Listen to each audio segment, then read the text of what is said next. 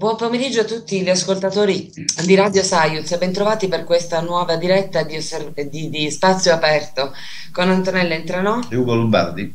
Salutiamo il nostro regista Ugo per questa sera. Ciao Ugo, grazie per la tua assistenza tecnica. Ciao Ugo. Buonasera. Salutiamo oh, Rosario Moreno, collegato con noi sempre da Treviso. Ciao Rosario. Buonasera a tutti quanti, a tutto il condominio di Radio Saiuz. Diamo il nostro saluto anche a Massimo Bonella, responsabile di pianettaoggitv.net. Ciao Massimo. Ciao Massimo.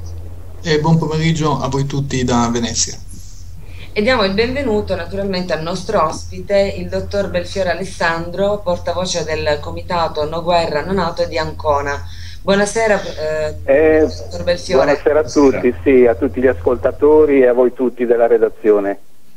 Grazie per aver accettato il nostro invito. A brevissimo cominceremo, Prego, con, lei, eh, cominceremo con lei la nostra trasmissione. Per intanto diamo eh, la linea a Rosario Moreno per i saluti al condominio e per le informazioni ai nostri ascoltatori e subito dopo a Massimo Bonella per le ultime news. Prego Rosario. Bene, grazie Antonella, buonasera a tutti quanti. Di nuovo qui dalla regia di Radio Saiuz, questa sera in regia e c'è Ugo. Voglio solo ricordare a tutti gli amici che chi volesse contattare eh, entrare diciamo, in diretta in trasmissione con noi per fare domande all'ospite oppure se hanno dei dubbi o, o dire qualche cosa possono farlo attraverso la nostra chat che è su radioscience.it oppure possono telefonarci al numero 0422 16 26 622 oppure mandarci un sms o un messaggio con whatsapp al numero 3, eh, 393 78 80 195 ricordo comunque che questa diretta va eh, sulle due web tv di Radio Science in più sul canale youtube e sul canale live stream come web tv per quanto riguarda le web radio eh, eh, viene ritrasmessa in tutto il network, eh, quindi Radio Reno Web da Casalecchio di Reno, Radio Favaro Veneto da Favaro Veneto, Radio Sismondi Libri da Salgareda in provincia di Treviso, Radio Isso da Modena e Radio Valdichiana dalla Valdichiana. Con questo è tutto, Antonella ti passo la linea che rigiro subito a Massimo Bonella per gli ultimi aggiornamenti. Prego Massimo. Sì, grazie, un saluto subito alla regia centrale a Ugo e Rosario. Alle 18.34 prendiamo la linea qui da Radio Favaro Veneto, testata giornalistica Pianeta Oggi TV. Dunque, abbiamo una notizia che ha davvero dell'incredibile. Eh, Censis, ben 11 milioni di italiani hanno dovuto rinviare o rinunciare a prestazioni sanitarie nel 2016 a causa di difficoltà economiche, non riuscendo a pagarle di tasca propria sono 2 milioni in più rispetto al 2012 e quanto emerge da una ricerca del Censis in cui si specifica che 2,4 milioni di anziani hanno rinunciato a curarsi. Ebbene, cari signori, qui siamo di fronte ad una cosa che ha davvero dell'incredibile, ma dell'incredibile dell'incredibile. Le automobili che vanno in officina sono trattate meglio, decisamente meglio, e ve lo dimostro. Me la porti qui alle ore 14, alle ore 17 la macchina è già pronta, nuova come prima. Andiamo avanti. Stefano Cucchi è stato vittima di eh, tortura come Giulio Regeni. Così il procuratore generale Urbolino, nella sua requisitoria al processo d'appello bis per la morte di Cucchi. Cucchi è stato pestato, ucciso quando era in mano dello Stato, ucciso da servitori dello Stato in camice bianco. Occorre restituire dignità a Stefano e all'intero paese. Bisogna evitare che muoia una terza volta, ha aggiunto Rubolino. Chiesti cinque anni e mezzo per il primario dell'ospedale Pertini Fierro e tre anni e mezzo per gli altri quattro ed ora diamo uno sguardo rapidamente perché non voglio portare via eh, troppo tempo. Eh, dunque uno sguardo alla nostra testata online. Andiamo dunque nella home page abbiamo due importanti video tratti da Pandora TV di Roma diretto da Giulietto Chiesa. Come sapete noi abbiamo una collaborazione diretta con questa emittente. Abbiamo uno speciale uno speciale eh, sarebbe una, un po' una botta e risposta eh, dunque durante la la Luana alla fine... Un momento, scusami Massimo, Massimo, un momento perché... Marco, per piacere, abbassa tutto. Cosa succede? Vai Massimo, c'è stato un disturbo con l'entrata in, in diretta di Marco Grilli.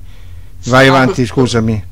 Eh, nessun problema, alle 18.37 scattate in questo istante, riprendiamo dunque la homepage di pinetaogtv.net, testata giornalistica eh, di Venezia, questa All News, abbiamo due eh, video molto importanti tratti dalla Pandora TV, eh, emittente romana diretta da Giulietto Chiesa, eh, dunque durante la presentazione, il primo riguarda la presentazione del libro La congiuria lituana, eh, la fine dell'Unione Sovietica e di chi tentò di salvarla, dunque dunque eh, di eh, Sapovnikova, una, uno spettatore espone i propri dubbi su contenuti del libro, la risposta di Giulietto Chiesa non si fa attendere, riprese e montaggio a cura di Nicola, eh, di Nicola Alberi.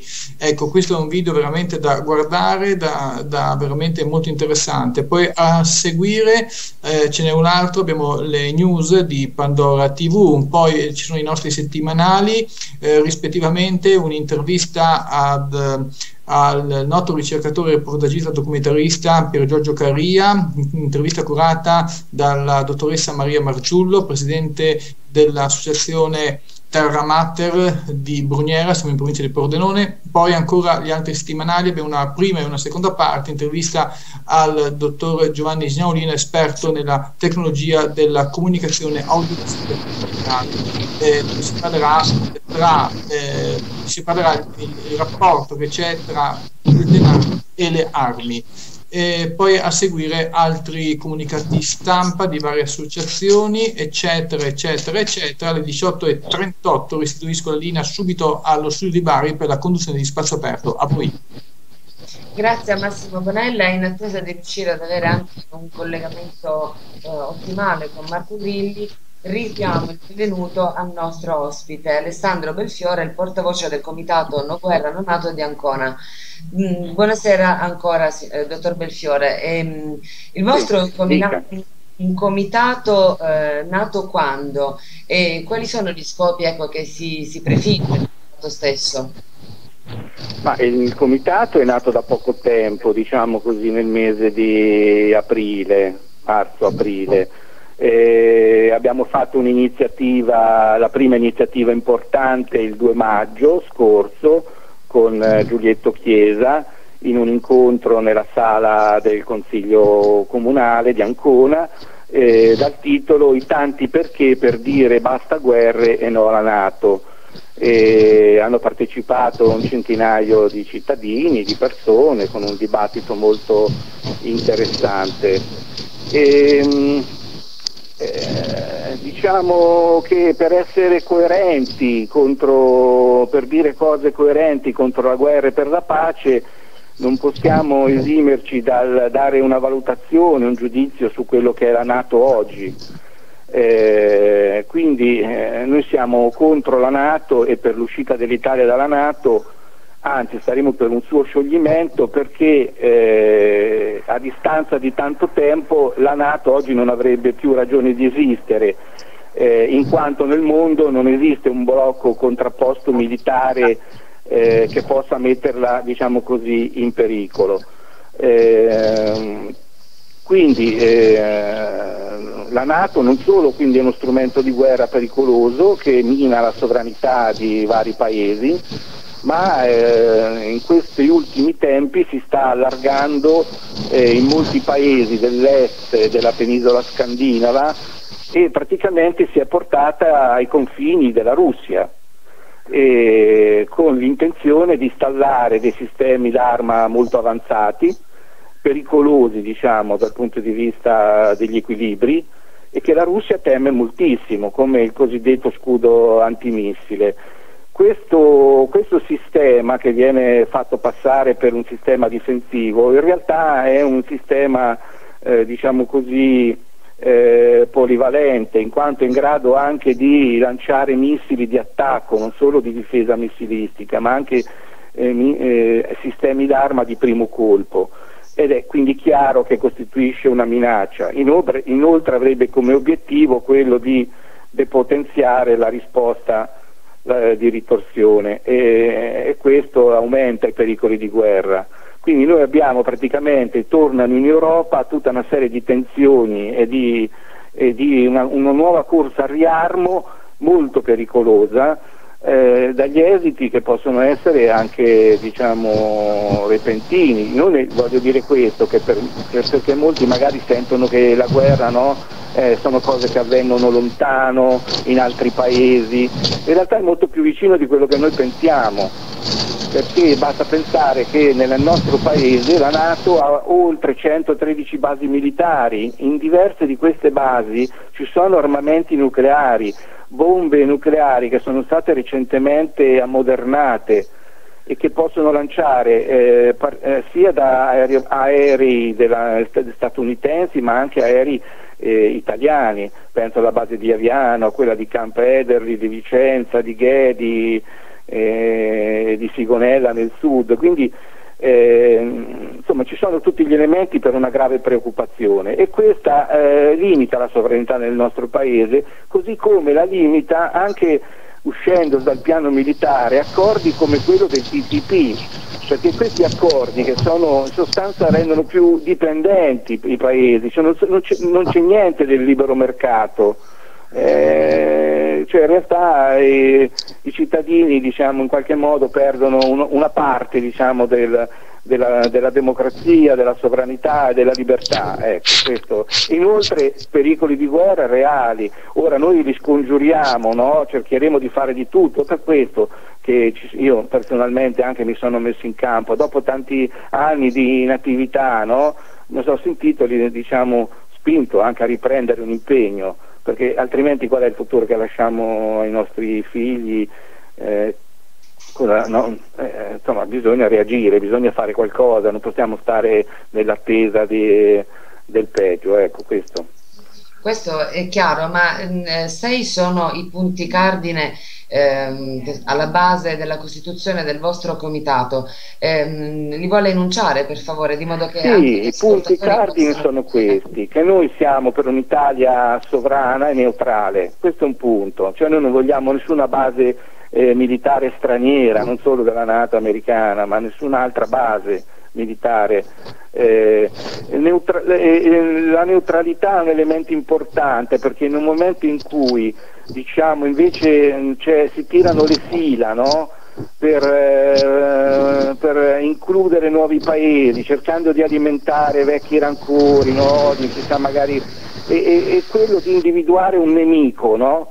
Um, che questo è diciamo, il clima di guerra. Per farlo occorre individuare un nemico. Questo nemico è la Russia e poi in subordine c'è anche la Cina, ma eh, dicendo anche cose gravi, cioè che la Russia è praticamente aggressiva e che minaccia di invadere altri paesi. Ora, queste cose non hanno il benché minimo riscontro cioè non esiste, cioè la Russia dichiara proprio che non si sogna neanche lontanamente diciamo, di eh, attaccare ed è pronta a risolvere le questioni pacificamente sul piano politico, ovviamente ci sono questioni come quelle diciamo, dell'Ucraina, della questione della Crimea, eh, ecco, però, cioè, della Crimea. Questa, minaccia, questa minaccia incombente eh, viene alimentata indotta, io credo che molti popoli, non so perché Ehm, è, è, sproporzionata anche no? sul piano oggettivo, cioè non c'è nessun riscontro.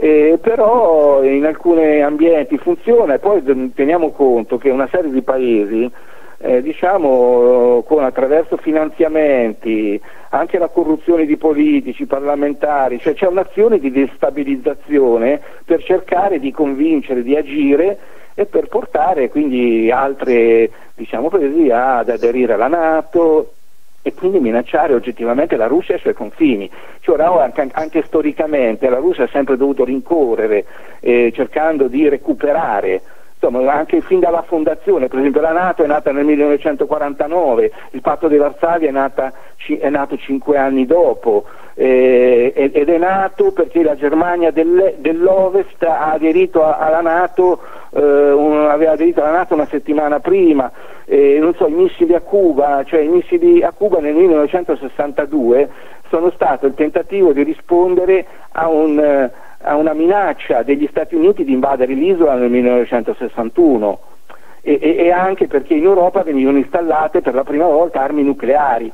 E, e, quindi questa rincorsa, no? cioè questo lancio per poi mettere in difficoltà un paese, no? perché la corsa a riarmo è chiaro che toglie risorse alla società civile, al benessere, agli interventi, cioè è, è veramente suicida poi sul piano globale, no? cioè, è, una, è una risposta. Gli Stati Uniti spendono, gli Stati Uniti, molti telespettatori, ascoltatori non lo sanno, spendono il 50% di tutto quello che spende l'intero pianeta per, la, per gli armamenti, cioè metà, eh, sono, eh, quindi eh, risorse enormi, enormi, e chiedono a noi europei di spendere ancora di più, di armarsi, ma dove vogliamo andare a finire? Cioè veramente è una cosa micidiale.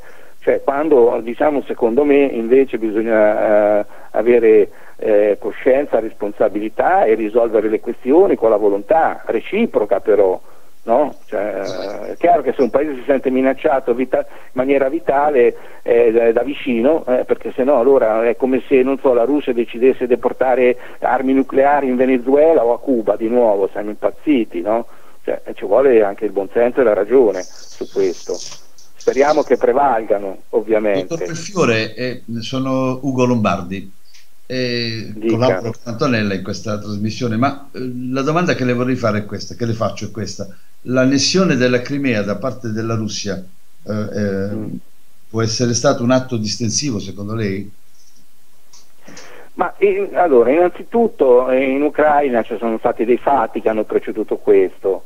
Eh, eh, ci sono state delle manifestazioni contro il governo che veniva ritenuto filorusso quando in realtà quel governo eh, di Yanukovych, no? se non sbaglio, eh, aveva buoni rapporti anche con il resto d'Europa, cioè quindi tutta questa diciamo, però lì c'è stato un intervento ehm, pesante eh, per cercare di destabilizzare quel governo. No? Ora il governo poteva essere anche non molto apprezzato dal popolo, però ci sono le vie democratiche, cioè non, non, non c'è stata una resistenza un'opposizione di principio a non svolgere le elezioni. Lì le manifestazioni di massa, che sono state quelle, per carità, poi hanno preso il sopravvento gruppi paramilitari di estrema destra, fra l'altro come tutti sanno, che hanno diciamo, eh, fatto un colpo di mano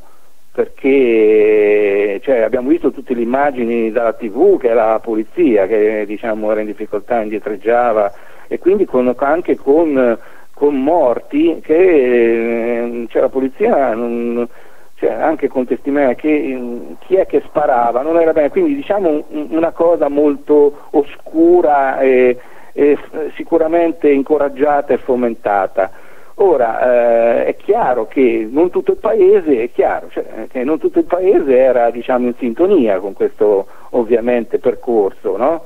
I paesi diciamo, dell'est, del sud-est dell'Ucraina che hanno una forte diciamo, presenza dell'etnia diciamo, russofona eh, hanno fatto resistenza, non hanno accettato questo diciamo, capovolgimento, eh, hanno fatto resistenza e le truppe diciamo, armate, i battaglioni Azov eccetera, l'hanno mandati lì il governo di Kiev a bombardare queste città.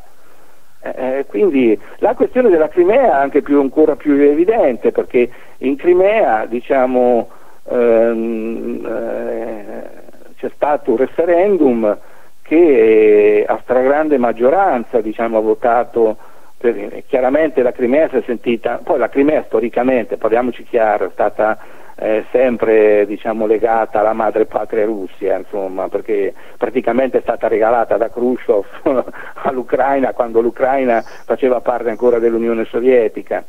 Cioè, quindi diciamo che Ehm, allora, un colpo di mano, diciamo, un colpo di militare di dubbia, no di dubbia, di chiara diciamo, illegalità è stato presentato come un atto di liberazione, di liberatorio, un referendum pacifico dove il popolo ha votato eh, in quel modo invece non vale, cioè qui le leggi internazionali le fa chi vuole imporre il proprio ordine, ordine delle cose, insomma, e comunque sia, comunque sia, quello della Crimea credo che sia un problema diciamo ormai che non c'è stato ma sul resto, sulla questione diciamo, dei paesi da, di, del Donbass, di Lugansk eccetera, la Russia ah, discute, vuole aperta anche diciamo, no, un, la Costituzione non la vogliono cambiare, cioè la Costituzione non cambia, cioè quelli ancora continuano a bombardarli. Eh, questi cosa devono fare? Cioè, si difendono. Ovviamente questo certo è un punto diciamo, critico, però se non c'è la volontà reciproca, cioè voglio dire, eh, per fare altri agganci storici, eh, la questione del Cuba che avevo accennato, eh, a un certo punto gli Stati Uniti minacciarono una guerra, un, hanno fatto un blocco navale, cioè una cosa fortissima, non volevano assolutamente, no, che, eh, perché c'è un'analogia no, inversa, no? E, Stati, e, la Russia ha, ha accettato per evitare diciamo, l'aumento della tensione e i rischi di ritirare questi missili. Ora, eh, lì c'è una cosa simile, perché questi qui in Romania, in Polonia, eh, stanno dispiegando a basi in ogni dove, eh, in ogni dove, quindi... Eh, cioè, insomma, chiaro, dottore, scusi se la interrompo. Io credo che, la, non, non, non conosco la sua età, ma credo che le immagini televisive di qualche decennio fa ci riportano satelliti fatte dal, dal, dalla Russia. Mi ricordo l'invasione fatta in Cecoslovacchia, i carri armati che hanno invaso i paesi. Sì, allora. certo, certo. Allora, Ma sono stati. Sono, essere... Allora, intanto, intanto, erano altri tempi veramente, e comunque c'erano i blocchi, fu costruito nel 1948 eh, il muro di Berlino, eh, da lì poi nacque la Nato, quindi la guerra fredda, per carità. Ci sono stati, diciamo frangenti storici e quindi erro- errori. Certo, è possibile, ma intanto per esempio fra polacchi e russi non si sa mai tanto tutti prendere, però la Russia, a, a parte questi episodi gravi, diciamo errori del, dell'intervento in Cecoslovacchia e, e in Ungheria, no? eh, c'erano veramente blocchi contrapposti quasi di una rigidità e comunque ci furono e fu, ripeto, drammatico, però eh, voglio dire che la Russia è stata anche nella storia invasa il più delle volte, cioè, ha subito diciamo, gli attacchi, no? a parte l'invasione della Germania, anche la Germania quando metteva sue, i suoi eh, diciamo, le sue divisioni corazzate ai confini della Russia dicevano che erano esercitazioni militari, addirittura non lo sapevo, l'ho letto recentemente perché io non sono uno storico, che la Finlandia attaccò la Russia, eccetera, no? e quindi insomma, eh, si è dovuta difendere dall'attacco dell'impero ottomano, quindi storicamente insomma, tutta questa aggressività della Russia, a parte quel frangente dei, dei blocchi contrapposti degli interventi, che, eh, ma la, gli americani non hanno fatto altro che fare guerre. Cioè gli americani, dopo che si è sciolto il patto di Varsavia, che c'erano gli accordi sui missili, sembrava che hanno cominciato a, te- a teorizzare lo scudo spaziale, lo scudo stellare, armamenti, e chi più ne ha più ne metta, ha fatto guerra in mezzo mondo. Eh, cioè, voglio dire, ci vuole anche un senso delle proporzioni. Cioè, ora noi pensiamo che sia più democratico un mondo unipolare dove un solo paese detta le regole sostanzialmente de, del diritto internazionale, nel senso che decide quello che è giusto, che è legittimo, che non lo è, e che condiziona diciamo, interi continenti, interi paesi, anche attraverso metodi discutibili. Per esempio il Brasile, vogliamo prendere la questione del Sud America? Eh, in Sud America tutti i paesi che non, non accettano il diktat degli Stati Uniti oggi sono sotto una pressione e una minaccia. Venezuela teme un, un intervento militare. Eh, eh, questi non, non, contano, cioè conta solo. Eh, quindi insomma io eh, dico che, eh, ripeto, l'obiettivo nostro è di avere un paese e, un, e anche un'Europa, non solo l'Italia, il discorso va allargato. Cioè la domanda è la Nato ci aumenta e ci porta nella direzione di un conflitto oppure è, è, una forza di difesa che può invece eh, evitare la guerra. Ecco, tutte le azioni e quello che ho detto mi sembra che non favoriscano certo un processo di distensione. Beh, diciamo D'altro, che ecco, esercita... tutto qui, io non... Eh, se esercita un'azione di difesa è chiaro che non può fare anche mediazione l'uno e l'antitesi dell'altro, questo mi sembra abbastanza evidente, ma come noi dicevamo durante la scorsa trasmissione, mm, il nostro obiettivo ecco, non è essere pro o contro qualcuno, il nostro obiettivo è capire soprattutto come mai il nostro paese ha perso quasi del tutto la propria sovranità, non ha più potere decisionale, comunque sia, avendo più di 113 basi NATO, è chiaro che a un certo momento non può eh, chiamarsi fuori dai giochi. Quindi eh, la domanda che le, le, pongo è questa, qualora l'Italia dovesse uscire dalla NATO, facciamo questa, questo sogno, no? lasciamoci andare a questo sogno, qualora l'Italia dovesse uscire dalla NATO, quali sarebbero le conseguenze? Ma ascolti, innanzitutto gli italiani, cioè le persone devono chiedersi una cosa, cioè se eh, queste basi hanno eh, sostanzialmente, l'Italia su queste basi ha veramente poca voce in capitolo, perché in caso diciamo, uh, di eh, crisi eh, che ci può portare al conflitto, una crisi diciamo, alla quale eh, purtroppo speriamo di non arrivarci mai, eh, cioè so, i comandi cioè, ce l'hanno gli Stati Uniti direttamente, cioè, non è che viene coinvolto il Parlamento, i sistemi di controllo, eh, cioè, mh, mm, non c'è neanche il tempo, Insomma, eh, quindi noi siamo di fatto un, pa- un paesi che accettano ostaggio diciamo, di, chi dovrà, chi, di chi decide che l'Italia deve entrare in guerra contro qualcuno. Noi, posso dire una cosa, adesso purtroppo pochi giorni fa è morto Mohamed Ali, no? e, il grande campione del pugilato americano. E lui disse, ma io perché devo andare a fare la guerra a Viet Cong? Cioè io ho quelli che mi danno del negro qui in America, cioè, eh, a me Viet Cong non hanno fatto niente, cioè io non, non, non trovo motivo per la mia coscienza religiosa o etica, non me lo... No? Eh, lì è stato molto fermo e coraggioso anche per i tempi. Eh, insomma, noi, allora, gli italiani, no? cioè, hanno motivi, diciamo, diretti per, eh, per, mettersi in guerra con la Nato e per eh, bombardare in maniera, in maniera, distruttiva un paese come la Russia, ma stiamo scherzando, cioè, io credo che veramente... Eh, però non lo, decide, non, non lo decidiamo noi, eh. voi dice, noi abbiamo 70-80 ordigni nucleari su cui le chiavi insomma, ce l'hanno in mano loro, formalmente ce le dovrebbe avere pure l'Italia, ma tecnicamente non potrà essere mai così, cioè tecnicamente cioè, non esiste che c'è eh, so, il Presidente del Consiglio, che cioè, non esiste proprio. In più, non solo, ma queste basi vengono portate a poche centinaia di chilometri, se non decine, ai confini della Russia, cioè un una mh, mm, scelta scellerata, provocatoria. Adesso ci sono eh, grandi eh, manovre militari nel Mar Baltico, ma il Mar Baltico è un mare delicato perché lì è un mare più stretto, no? Eh, dove c'è la, la, Russia, c'è Pietroburgo, eh, c'è grandi dispiegamenti, cioè, è chiaro che sono segnali eh, di, di, provocazione. Ora qualcuno mi potrebbe dire, a me non risulta che la Russia faccia altrettanto.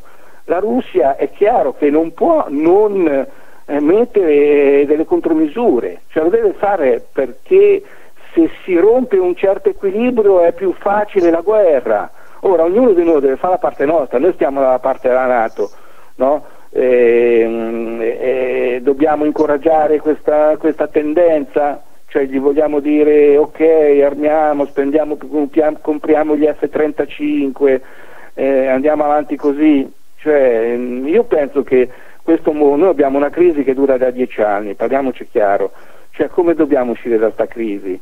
Salvando questo pianeta, questo mondo oppure dandogli il colpo di grazia? O con una guerra, cioè veramente in, cioè, noi dobbiamo metterci la nostra coscienza, la coscienza di chi ha una fede religiosa, la coscienza di chi ha etica, morale, cioè andiamo verso il disastro. E, e, la guerra può essere una soluzione solo per qualcuno, il disastro per la totalità, ma per qualcuno, ma che magari eh, pensa de, che siamo in troppi su questo pianeta, forse pensa che bisogna dare una sfoltita perché qui le risorse naturali forse scarseggiano, eh, però veramente cioè, una mentalità criminale, diciamolo chiaramente, o no? Eh, questo è il dato. Ora, io sono stato uno, Obama, stato, quando Obama si è presentato, io avevo, insomma, se fossi stato in America l'avrei votato, al primo mandato sicuro, anche al secondo, ma al secondo già mi erano venuti più dubbi.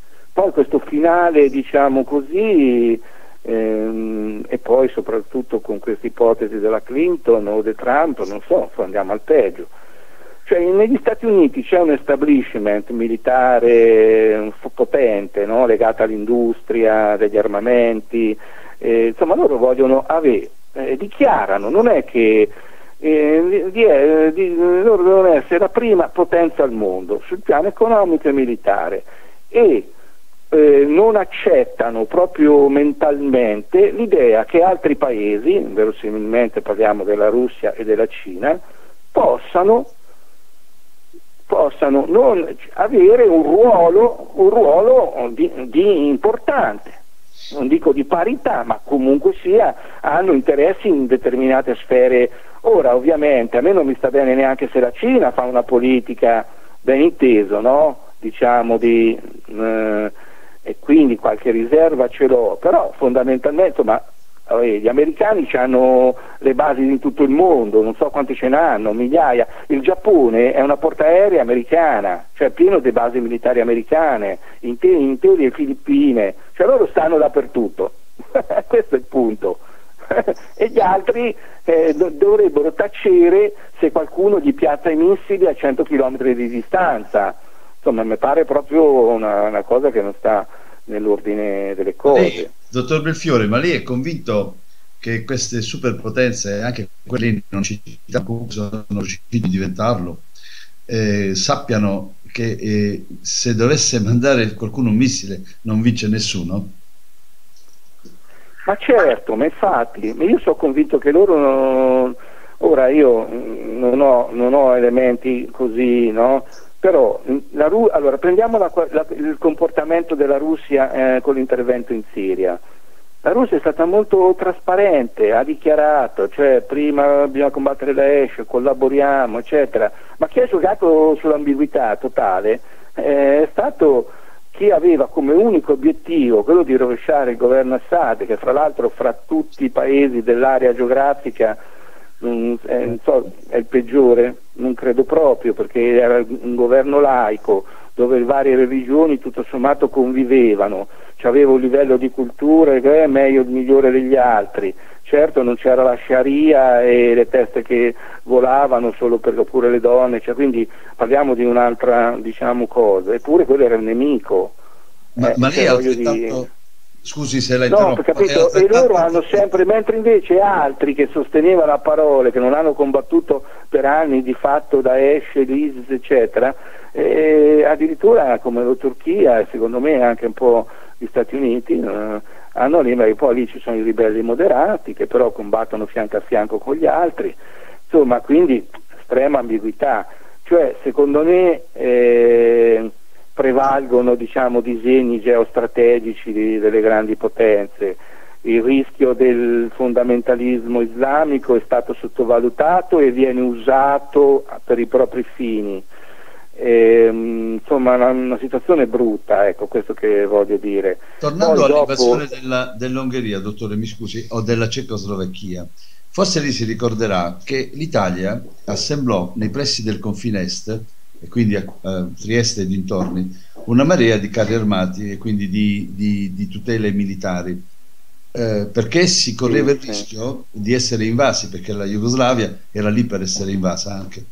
Lei pensa che anche quel, quell'episodio diciamo, eh, dovrebbe essere sottovalutato? Il nome Ma lei si riferisce all'intervento sovietico certo, in. Cecoslovacchia? Certo. Io ricordo che c'è stata una allora, su quello, su quello io ho detto, adesso ho detto e secondo me quell'intervento era limitato a mantenere diciamo, eh, quel paese dentro l'orbita diciamo, del patto di Varsavia, ripeto, dove eh, hanno avuto il sopravvento diciamo, i timori di, una, di, inizio di disgregazione che poi è venuto successivamente. No?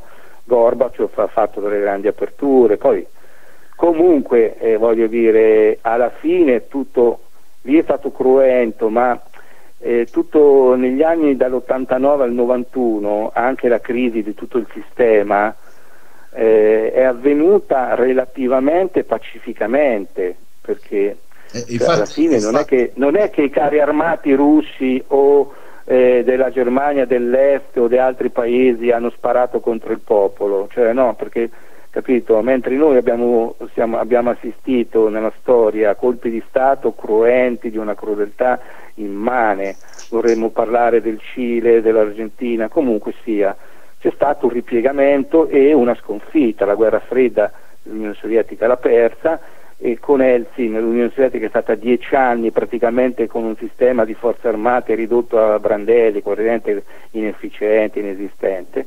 Con Putin eh, la Russia ha, eh, si è ricostruita, diciamo, ma non con l'intento per mantenere una deterrenza e, anche e soprattutto per, per garantire una politica anche autonoma dei propri interessi.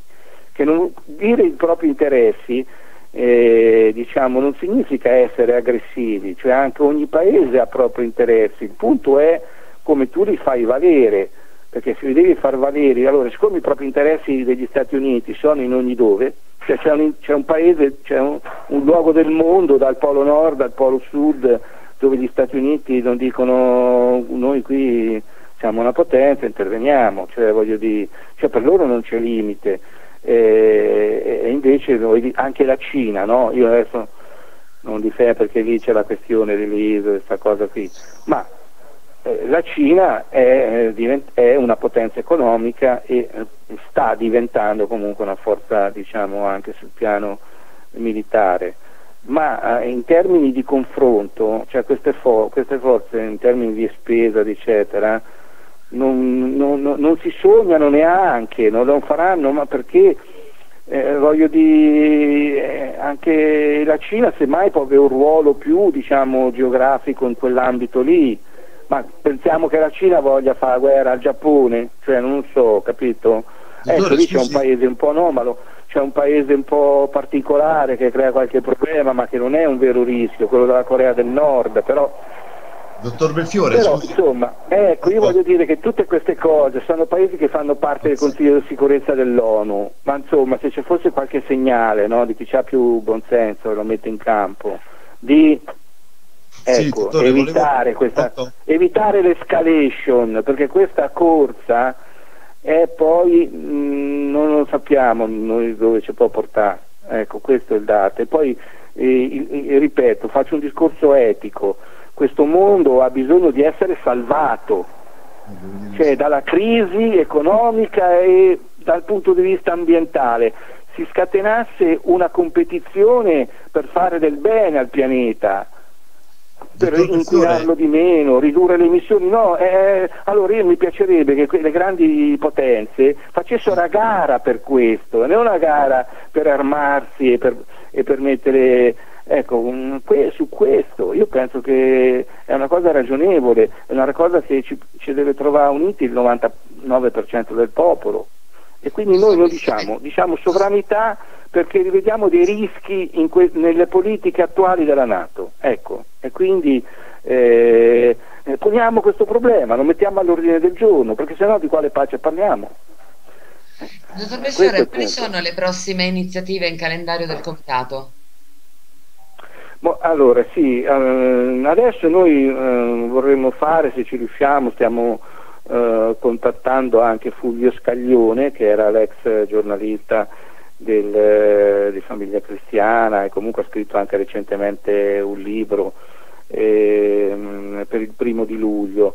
Eh, quindi diciamo prima un po' del caldo torrido che non so se arriverà, ma per adesso ne abbiamo visto solo qualche spiraglio um, vorremmo fare un, ancora un'iniziativa e poi naturalmente eh, dipenderà un po' da come evolvono le cose. No? perché se avvengono fatti gravi non c'è, non c'è sabato, domenica o mare che tenga, io spero no, che insomma, ecco, i cittadini possano passare diciamo, delle, un, una serena estate, eccetera. Però bisogna comunque parlare di queste cose, eh, eh, discuterne, eh, prendere iniziative, al di là degli schieramenti. Cioè, io so che su queste posizioni, non magari con delle differenze, ci sono anche diciamo, forze politiche dall'estrazione dalle tendenze anche molto, eh, molto diverse. Però io dico la pace prima di tutto, eh, gli interessi nostri, del nostro paese e dell'Europa, è un equilibrio diciamo, che allontani i pericoli di guerra e non che li, li aumenti. Eh, e certo, poi economicamente, economicamente, noi abbiamo bisogno di, di, avere rapporti, positività, rapporti economici, dobbiamo eh, rilanciare le, l'economia, insomma pensiamo meno alla guerra e più al benessere dei popoli. Eh, rilanciare però un'economia che dovrebbe assolutamente essere rivista perché... Eh, rivista, come... molto rivista, molto, sono d'accordissimo, sono certo. d'accordissimo perché uh, allora eh, eh, la povertà, ci sono due elementi, uno è la guerra che porta alla disperazione, alla distruzione e alla povertà, oltre che le, eh, le spese per gli armamenti che tolgono risorse ma l'altra sono i cambiamenti climatici. Noi pensiamo solo che in questo periodo in India, un paese di un miliardo di persone, c'è stata una siccità pesantissima, una siccità e temperature di 50 gradi. Ora è chiaro che se i terreni si inaridiscono, eh, le, le riserve d'acqua diminuiscono, eh, la, la, gente che fa? Cercherà di andare in posti dove le condizioni di vita eh, sono migliori eh, quindi il fenomeno dell'immigrazione è indotto sia dalle guerre da, e, dalle, e, da tante, e anche da queste cose, anche da queste cose che veramente certo. eh, quindi dobbiamo aiutare, dobbiamo uh, prenderci la responsabilità globale per, questo, per questi uh, occorre insomma, una politica ad alto livello di, di, di, responsabilità. Questo paese, molto della politica nostra, rimane troppo rasoterra spesso. È questo il punto. Grazie, il punto dottor professore, per essere stato con noi. Va bene, grazie a voi che mi avete dato questa opportunità. Ho fatto una chiacchierata, sono molto contento, ci risentiremo in qualche altro Ci risentiremo senz'altro, certo. Grazie. Ok, grazie buonasera e un saluto a tutti, anche agli, a tutti gli ascoltatori. Grazie, buonasera. Eh, Rosario, penso che eh, si possa provare a collegarci con Marco se eh, le situazioni tecniche ce lo consentono, visto che lui è in movimento con un tablet eh, in macchina, insomma non, non, si trova certo nelle condizioni ideali. Sì, la, comunque... la, sto chiamando, lo sto chiamando sul telefono. Ecco, vediamo se così riusciamo ad avere un collegamento migliore. Marco? No, aspetta, sta arrivando. Dagli tempo. Non c'è ancora. No, non c'è ancora in questo momento. Ecco, Volevo dire, mi è, mi è stato de- ecco qua, sta arrivando. Mi ecco. è stato detto che l'ISIS, l'ultima minaccia, vogliono buttare giù le piramidi. Eh? Ah, ecco, ci manca solo. Cioè, me le facciano vedere prima. Eh, certo. mia vita almeno. Ci devono, almeno questo. Ci devono arrivare prima. Eh, sì. Marco, ci sei? Sono con voi, buonasera a tutti. Buonasera. Eh, ciao Marco. Ciao Marco. Ciao.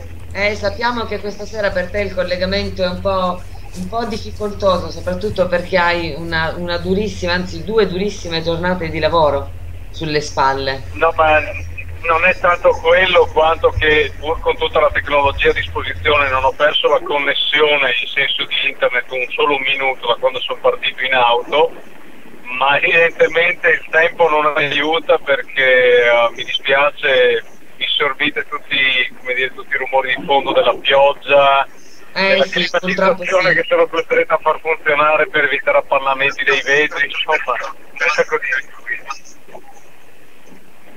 Vabbè, comunque ci riusciamo lo stesso. Dunque, Marco, eh, come avrai sentito, abbiamo ospitato il portavoce del comitato No Guerra No Nato di Ancona che il 2 maggio ha ospitato Giulietto Chiesa per un incontro pubblico.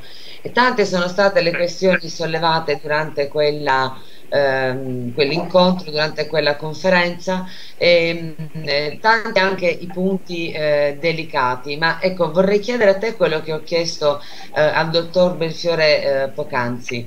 Cosa significherebbe per l'Italia uscire dalla Nato? Voglio dire Marco, perdonami, non sarebbe propriamente una passeggiata di salute, cioè non si deve immaginare che si esce dal trattato e, e ognuno continua a condurre la sua vita perché non sarebbe proprio così. Ma non, non, credo di potervi far prendere come dire dalla funzioneria e pensare che sia effettivamente una cosa così semplice. Prima di tutto presuppone una volontà compatta da parte diciamo, eh, establishment eh, e, e tutto l'organismo statuale fondamentalmente, ma prima ancora della popolazione che voglia effettivamente cosa, perché se non siamo convinti noi prima di tutto sarà ben difficile che lo possano essere i politici, poi potremo eventualmente esercitare pressioni di qualche genere. Uno.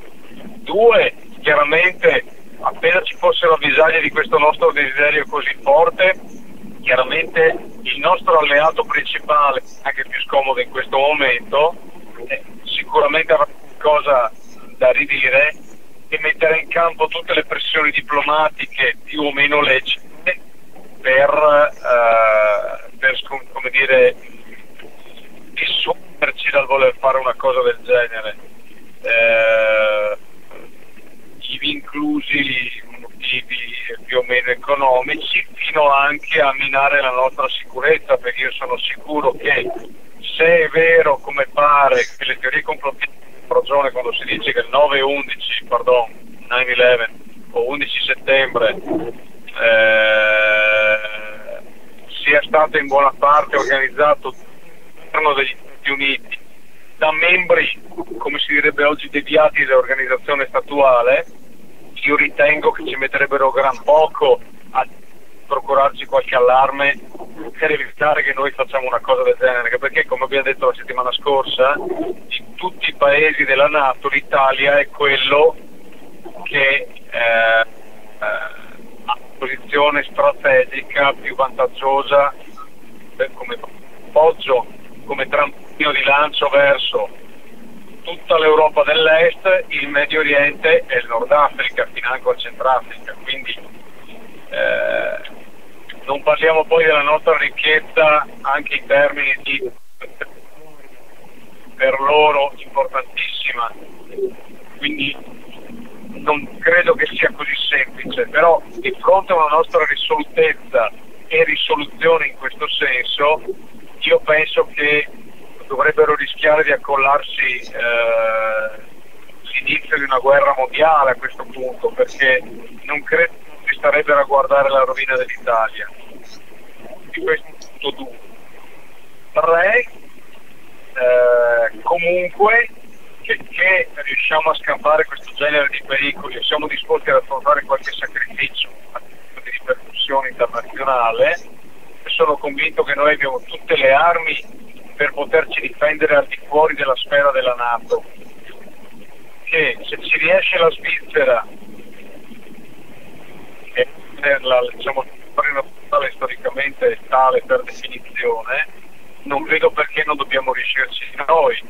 A maggior ragione riuscissimo ad essere così interessanti come comunque ci sia dal punto di vista anche economico, la Svizzera è uno dei motivi per i quali la sua neutralità tiene banco, eh, non pensiamo che c'è per rispettare la sua volontà di essere tale, perché la banca, le banche fondamentalmente lo Stato, dove al di là delle Cayman e altri paradisi fiscali, tende sui soldini gli stessi membri della Nato, sia tentato che stati, sicuramente hanno interessi economici all'interno del territorio svizzero e come tale la Svizzera buon gioco a mantenere fuori eh, appunto dei cittadini eh, eh, mantenere intima gli investimenti altrui Aspetta un attimo, Rosario, siamo noi o non sentiamo granché? No, sta arrivando male, sta arrivando. Ah, ecco, pensavo fosse un nostro problema, ok. Scusa Marco, vai pure avanti, magari ecco, se ti potessi fermare un istante se sei in condizioni di farlo, di modo che il segnale... Eh, perché proprio, guarda, io, io non sento nulla, quindi immagino che anche gli ascoltatori facciano fatica a seguirti. Marco, prova a riparlare. Ecco, io eh, spero che sia arrivato quello che ho detto fino adesso. No, niente, Rosario, magari vogliamo... Marco, prova a, farti, prova a richiamarti, sì, aspetta un attimo. parte che è arrivata davvero... Io sono, sono a disposizione della... sono a vostra disposizione, sì, sono meglio credete. Un attimo, un attimo soltanto, chiedo scusa, provo a riprendere Marco la telefonata perché eh, è una telefonata su cellulare, quindi è in movimento, c'è la pioggia, la macchina, quindi possiamo immaginare. La pioggia, quindi eh, non è il massimo. Non è il massimo. Eh, Adesso sto richiamandolo. Volevo ricordare ai nostri ascoltatori che oltre a eh, naturalmente poter aderire ai vari comitati no guerra no nato che sono presenti eh, Antonella arrivi male anche tu Antonella sì. Marco ci sei? Io sono con voi, sento a tratti Antonella, sì, sì, sta... perfettamente. Eh... Va bene, scusami un attimo Marco, Antonella, Marco un attimo soltanto, un attimo. Prego, prego. Eh, Anto... Antonella si è arrivata a tratti, quindi eh, prova a riparlare. Antonella? Vai Antonella, prova. Eh, dicevo, eh, ricordavo ai nostri ascoltatori, ecco, ricordavo ai nostri ascoltatori che è possibile aderire ai vari comitati no guerra non nato eh, sparsi sul territorio nazionale e che in più è possibile firmare eh, la petizione che eh, gli stessi comitati portano avanti, cioè la firme perché ci sia la fuoriuscita dell'Italia dalla Nato. Questo ecco, era un'informazione un che volevo dare perché purtroppo come sempre eh, gli organi di informazione eh, istituzionale non, non, collaborano in questo senso. Quindi Marco cerchiamo di riprendere le fila del discorso. Stavi dicendo eh, il terzo punto? Anzi il quarto scusa. il terzo punto è il quarto punto dovevo ancora iniziarlo, il terzo punto era terminato, spero che sia arrivato bene o male. Eh, è chiaro che appunto incontreremo della resistenza e quindi dobbiamo essere disposti a sopportare dei sacrifici. Eh, non ultimo il fatto che se la Nato e comunque gli Stati Uniti decidessero di tirare i propri contingenti a livello del territorio italiano, eh, naturalmente noi perderemo milioni e milioni di euro, per non dire centinaia di milioni di euro di eh, gli affitti delle, delle nostre, dei nostri siti militari perché eh, molti siti militari sono in affitto alla Nato piuttosto che agli Stati Niente, è caduta proprio la linea con Marco, eh? È proprio il segnale, Antonella, che non va eh, con il cellulare. Che sarà anche abbastanza complicato prenderla. Mm. Adesso sto provando a riprenderla. Che... Eh, non so se riusciremo a riprenderla. Ehm, ah, nel frattempo chiedo a Massimo se è pronto per eh, le news di fine trasmissione, considerato che sono le 19.25. Sì, abbiamo comunque un aggiornamento. Nel frattempo spero che la mia voce vi giunga bene qui da Venezia. A posto Massimo, ah. vai. Benissimo. Ottimo, allora si parte? Sì, Non se abbiamo recuperato Marco nel frattempo. Sì, sì, allora, fermi un attimo. Marco ha recuperato no, lì. Non Massimo. da Marco, quindi non... No, no, Marco ha risposto. Vabbè, io sto ascoltando, sto ascoltando, faccio come il santo del 25 di aprile, che peraltro corrisponde anche con la festa della liberazione. Io sono sempre presente, non mi perderete mai. Perfetto. Bene, Antonella, vai. E allora Marco, concludi Concludi il tuo pensiero Marco, così poi passiamo la linea a Massimo per ultimi, gli ultimi aggiornamenti. Non sarà facile, ma dobbiamo farlo perché siamo in fortissimo pericolo di guerra. Siamo in mezzo, dal punto di vista logistico, torno a ripeterlo, siamo in mezzo ai contendenti e siamo al centro del territorio conteso alla fine, siamo in un certo senso l'ombelico del mondo da questo punto di vista in questo momento. Oltretutto possiamo essere tirati in ballo pretestosamente da qualsiasi altro aderente alla Nato per il principio che ci eh, ci vede coinvolti grazie all'articolo 5 del Trattato Atlantico no? e, e, con buffi riferimenti, come abbiamo visto la settimana scorsa, all'articolo 50, del 51 della Carta ONU. Ci sono un po' di conflitti tra le altre cose concettuali tra le due formulazioni, quindi eh, bisognerebbe tornare a parlare anche di questo aspetto, ma noi possiamo farcela, dobbiamo però essere fermamente convinti di volerlo fare. Ottimo il discorso della petizione online su change.org, eh, è solo uno dei modi, ottimi i comitati non nato sparsi, credo ne nascerà un altro non più tardi di eh, sabato questo prossimo 21, quindi eh, dove eh, ci sarà un importante convegno a Prato dalle 10 del mattino in poi. Eh, con l'intervento di Giulietto Chiesa, Maglio Di Nucci e altri, eh, patrocinato sostanzialmente da Pax Christi Italia, eh, Comitato No Guerra Non Nato, eh, Pandora come TV partecipante eh, e altre entità che sono assolutamente trasversali anche come orientamento politico, che ne avvalora anche eh, come dire, la bontà di intenti. E quindi signori qua si tratta di essere fermi su questo punto. Poi questo non vuol dire voler male a qualcuno ma semplicemente riprenderci la nostra sovranità e imparare a difenderci e a tirarci su con le nostre gambine Perfetto, grazie Marco. Ti diamo appuntamento a mercoledì prossimo naturalmente e eh, come sempre ti, eh, ti, aspettiamo se vuoi anche per la diretta delle 22 e eh, preannuncio agli ascoltatori che l'ospite di Osservatorio Antimafia questa sera sarà Salvatore Borsellino. Quindi se tu sarai in una condizione di maggiore agio e soprattutto sveglio, qualora volessi collegarti con noi ci farà piacere come sempre. Per intanto ti ringraziamo. Ciao, Grazie Marco. a voi, sempre volentieri partecipo. Grazie Marco. A voi, grazie. Grazie. E, eh, passiamo adesso la eh, linea a Massimo Bonella per gli ultimi aggiornamenti. Prego Massimo.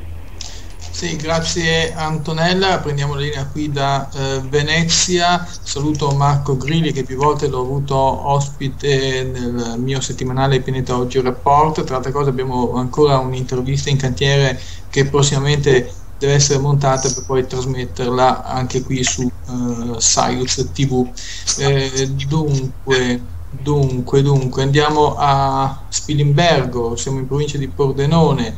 Gli investigatori hanno pochi dubbi. Un uomo ha ucciso la ex Spagna a Spilimbergo, nell'appartamento in cui la coppia conviveva fino a pochi giorni fa. Lui aveva ancora le chiavi di casa ed è tornato a casa aspettandola a rientro dal lavoro. Le ha sparato quattro volte e poi si è ucciso con la pistola che aveva avuto in dotazione quando era guardia giurata. I genitori della giovane hanno chiamato i carabinieri allarmati dal silenzio di lei nell'appartamento chiuso a chiave eh, dunque sono stati trovati i corpi. La ragazza uccisa aveva solamente 30 anni lui altresì 30 questo dunque l'aggiornamento alle 19.30 spaccati. Vediamo se c'è qualcosa in arrivo eh, dunque, sì, eh, ve la leggo per la prima volta, la traggo dal televideo. Migranti, chiederò un incontro ad Alfano per quanto la nostra sia una comunità abituata e solidale anche in una condizione di forte crisi dell'agricoltura. Non siamo in grado di garantire un lavoro e una accoglienza dignitosa a una mole così grande di persone. Così il neosindaco di Rosarno, Ida, dopo quanto è accaduto nella tendopoli di San Ferdinando. Chiederò di smantellare questa tendopoli, continua, aveva una funzione temporanea ed è diventata un ghetto. Non è possibile che queste dunque non è possibile ecco, questi sono di questo tipo. Eh, questo dunque alle 19.31, non ho altre notizie al momento, altri aggiornamenti, sono che da parte mia la massima solidarietà assolutamente a Salvatore Borsellino, eh, lo sentivo proprio oggi al GR1 in varie edizioni che lui praticamente eh, vorrà fare in modo, giustamente, e sottolineo, eh, fermare la presentazione, la presentazione, del libro del figlio di eh, Totò Rina a Palermo. Questa è un'offesa a Paolo Borsellino, a tutti i magistrati morti in prima linea e a tutti quanti coloro che sono morti per questa eh, causa giusta, cioè la lotta contro eh, questo cancro mafia. Alle 19.32 a voi la linea per la conclusione, tutto da Venezia. Grazie a Massimo Bonella e mm, naturalmente diamo appuntamento ai nostri ascoltatori alle 22 per Osservatorio Antimafia con eh, Salvatore Borsellino. Vi ringraziamo per averci eh, seguiti sino a questo punto nonostante le tante difficoltà tecniche. Ringraziamo Rosario Moreno e Ugo per la regia da Treviso e Ugo, non lo so, tu da dove, da dove ci segui? Da Modena da Modena, quindi ringraziamo Rosario da Treviso, Ugo da Modena, salutiamo ancora Marco che vediamo essere in collegamento anche se appena chiuso, salutiamo Massimo Bonella, responsabile di pianetaogitv.net da Venezia e vi diamo appuntamento alle 22 se volete o mercoledì prossimo alle 18.30 sempre su Radio Saiuz. Grazie e buonasera. Arrivederci. Bene, buonasera a tutti e andiamo con la sigla.